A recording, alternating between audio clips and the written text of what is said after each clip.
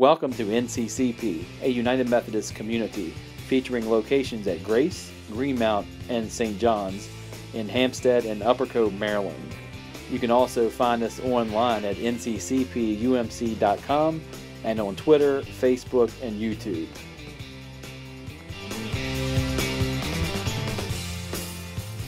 So, we're going to do some friendship discussion over the next three years. Or three years. That'd be a long, that's a long sermon. We all know Donna needs friends, and so we're really going to try to help her for three years. Can you imagine doing something for three years like that? Having that picture up there for 150 whatever weeks, 56 weeks. That would get kind of old, wouldn't it? But anyway, three weeks. Three weeks. So it's a mini series. What are those folks doing in the picture? Selfie. Selfie, all right. They tend to be of retirement age. Right, Bob? All right. Not saying you're of retirement age, I'm just saying.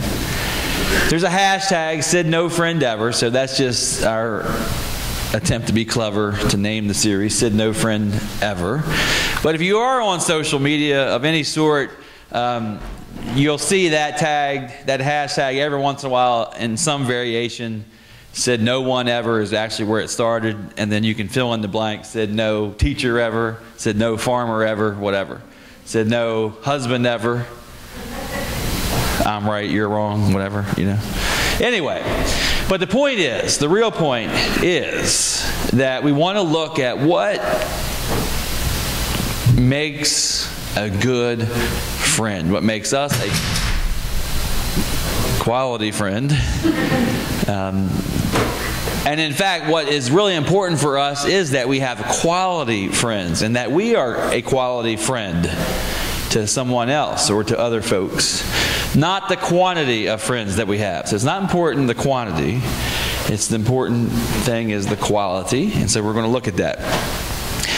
One of the ways um, folks say that you can tell if you have a quality friend or, or who your quality friend, who are your real friends in life, are the ones, if you think about it, who can you call or text at 2 in the morning now that you're an adult? If you are an adult. Now, Luke can text anybody he wants at 2 in the morning. All right? So, uh, but as you get older, and your friends tend to be in bed, who can you text or call um, at 2 in the morning? My mom texts Annika at 2 in the morning, even on school nights. She'll text her, like Annika will say, call, text her nanny like at 7.30 at night, and she'll get a reply at 1.30 or 2 in the morning. You're like, Mom, you can't text Annika on a school night at 2 in the morning. And uh, I guess the real thing is Annika, turn your phone off at 2 in the morning. So who can you call on at 2 in the morning? That's a, that's a good, me- there's other measures, but that's a good measure. And so if you're just thinking this morning, like, who, who are those people in your life? And who can call you? And, you know, at any time, the point is, who, who can you count on and, and who can count on you? So, just briefly, Job uh, here is going to help us look at some qualities and look at some characteristics of, of this job of being a friend. Again, Job's a righteous man. He's put to this test. We don't really know exactly why he's put to a test, uh, but it's a great book to read. Um, and we know you don't even have to be, a, we, you and I, don't have to be biblical scholars to to know that Job is a book about testing and how we handle it. And so that's familiar to us. But it's always good, even if you've read it before, to, to reread it and, and to wrestle with it um, as you go forward.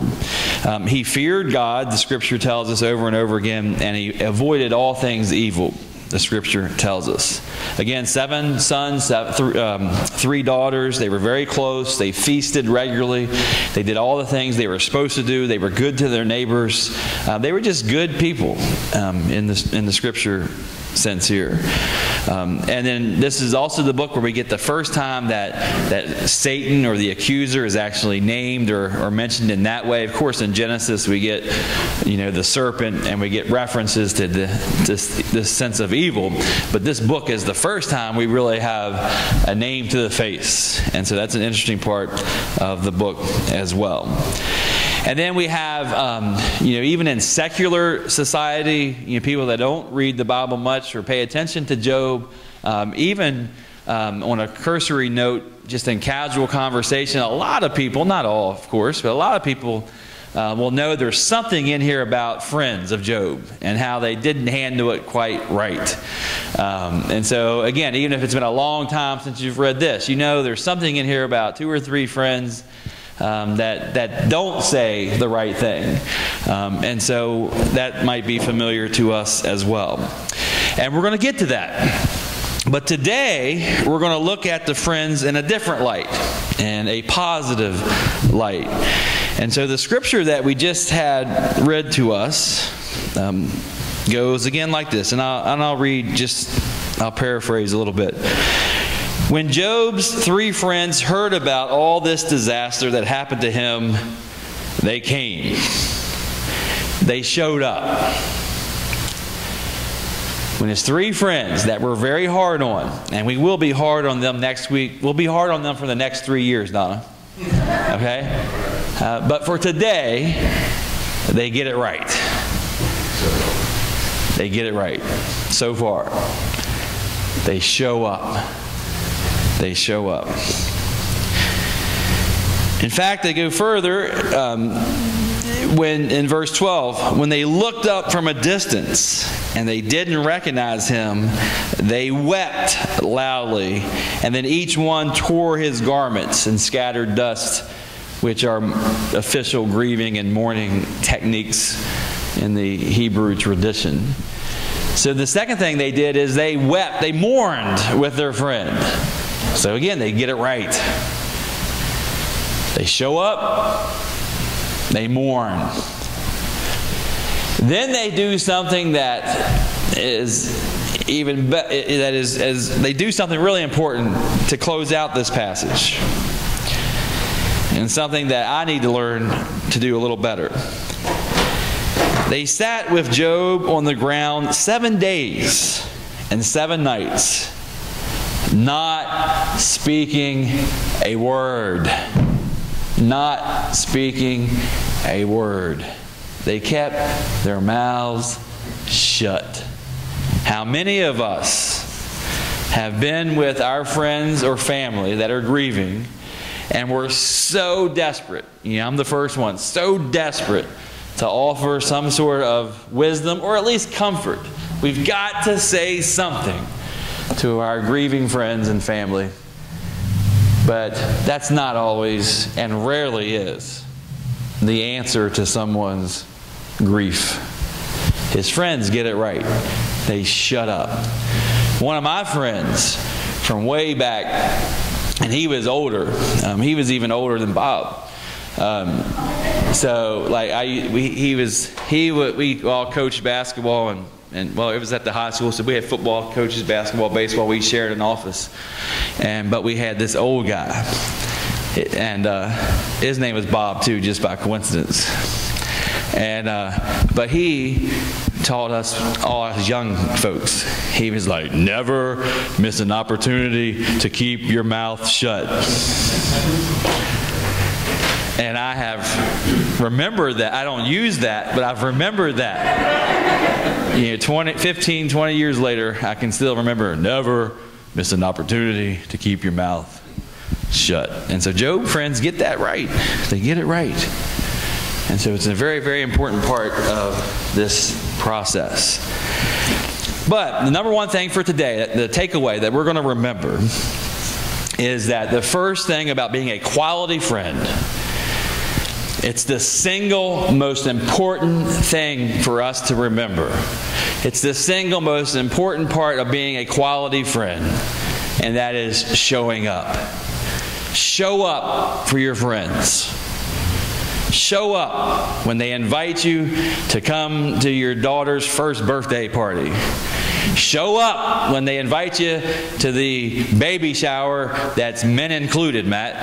And it's the last thing that you want to do. Show up when they invite you to come over because Uncle so and so's coming by to visit. Show up for all those celebrations that your quality friend is inviting you to come to. Show up when they're getting an award at a banquet at night. Show up for all those great things. And show up when they need something from you. When they need you to come and just sit with them because they're having a bad day. Show up when they're grieving the loss of a loved one and just sit with them as they don't know what else to do. Show up is the single most important thing that we can do for our friends. And Job's friends get this right. So, through this passage, they are quality friends. They show up, they mourn, they don't say anything. And that is a critical part of being a good friend. And any of you, and most of you, in the last few years have had an opportunity, that's a terrible word, have had the unfortunate time to grieve. And we have all grieved for one person or another. And we, so we know, all of us know, the value of when someone shows up. And um, I had gone through a period of time with family that, you know, we had lost very few people. And so I was out of practice, thankfully, thank God, until my dad passed away. And I just remember people showing up and how awesome that made me feel. And it wasn't about me, but it made me feel just really like, I, man, I do have some quality friends. How awesome it was to go to the mailbox and get a card from somebody that couldn't show up in person because it was so far away, uh, but that showed up in one way or another. And as you're thinking about this and you're thinking about your friends, um, I got a couple little uh, tidbits for you from Dear Wendy. Has anybody ever read Dear Wendy? I don't even know if Wendy's a real person because I got this off the internet. And so you know, it must be real. That's right. I wasn't going to say it. Actually, it was from a real article, though. Uh, the Huffington Post had an article, but they were quoting Dear Wendy. And so hopefully, Dear Wendy is a, a good soul. But she has a couple good things for us to think about that I wrote down here for us. Sometimes the people you show up and show up and show up for let me re- rephrase that because I paused because I was confused. I don't do good reading things. I'm not a good reader. Sometimes that's why I don't I don't write out my sermons because that would be just really terrible reading. So now you just get terrible all around the world. You really just need Pastor Melissa every Sunday. And I just need to stand up and look pretty. All right, let's get back to it. Dear Wendy, Sometimes the people you show up and show up and show up for let you down. Amen. We can all we all can probably have a list of people that we could throw under the bus. But listen to this one. And sometimes they show up and show up and show up for you, and you let them down. we just scooted a little bit down in our pews, right? And sometimes the people you've blown off, or that you would blow off if given the opportunity, are the first to show up for you. That's a powerful statement. That's an ouch. Sometimes the people you've blown off, or that you would blow off if given the opportunity, are the first to show up for you. Some powerful words to chew on. Job's friends probably had many opportunities to blow him off. And they probably had their own families, they had their own farms, they had their own responsibilities, They're coming from other places, they're not in the same community, um, but they show up. Especially nowadays, as all of us know here, you and I together, we are overbooked and we have so much to do. And a lot of it is legitimate and we can't get rid of it. Some of it, we could reevaluate our priorities and change our behaviors. But a lot of it is we're legitimately busy because we're taking care of people or we're working because we have to work and those sorts of things. But whatever the case is, that's not what this sermon's about today. The point is we are we are busy. And some kind, sometimes we're overwhelmed by our schedules. But we have to be very careful for the people that we call friends and that count on us as friends, more importantly, that we, in certain circumstances, are willing to drop everything and show up. Are willing to drop everything and show up. Now, that's not going to be for everybody on your Facebook of friends. It's not going to be for everybody, even frankly, in your whatever, close circle of work pals. But you've got a list of quality friends that you're maintaining and family that you've got to be, and I've got to be willing to drop everything. Everything. And just show up because that's the number one thing in terms of having quality friendships.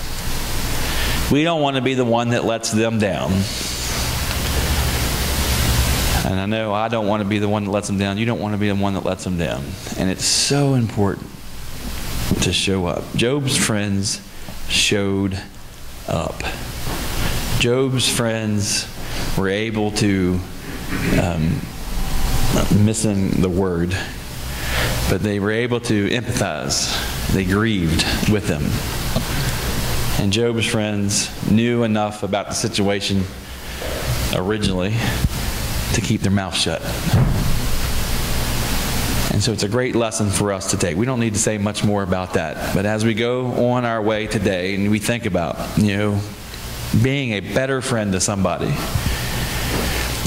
maybe shortening our list of who we consider friends. I mean, it's a dangerous thing to do. I don't want you to, the res- proper response is not to go out here and cut friends. so I shouldn't have said that. Um, but in reality, we can only manage so many human relationships. That's the truth. If you're talking about sales, even, you know, whatever, you can have 12 meaningful relationships, but getting sidetracked. Just think about these quality relationships, and if you want to maintain that person as a quality friend, you better show up. You better show up. The great thing, and we'll close with this great thing about being in a faith community is that we have an opportunity here, and St. John's is a great place for that, to nurture those kinds of quality relationships. And so maybe your family's not large enough to have a good pool of quality friends. Maybe you live in an isolated neighborhood. Maybe you're, you are retired, so you don't have a lot of work friends. Um, but our faith community is a built in place where you should have access to some quality friendships. And we do here at St. John's. And we have to continue to nurture that and work on that. Um, but it is a built in place where you'll have people that are going to come beside you and celebrate the good times and also be there when you're grieving. And so that's one of the main reasons to be a Christian. And that's why being a Christian doesn't work to find God in the boat fishing in the lake. Because when you need a quality friend, the fish aren't going to be there for you. You need to be in a faith community, and you are, which is a great thing. The Bible never promises us that being a Christian is going to protect you from grieving moments. What the Bible does promise is that you're never going to go it alone. And that's why. And that's why it's important to be following God through Jesus the Christ. Showing up is the most important thing we can do, and Job's friends did. What we're going to discover next week as we gather together is that as time goes on, Job's friends are going to wear down. And so we're going to be very tempted to get very angry with them. But then we're going to re- remember what happens to me when I get tired and hungry and frustrated, that my friend won't snap out of it. Right? So it's a very important message next week as we continue this series on friendship. Amen.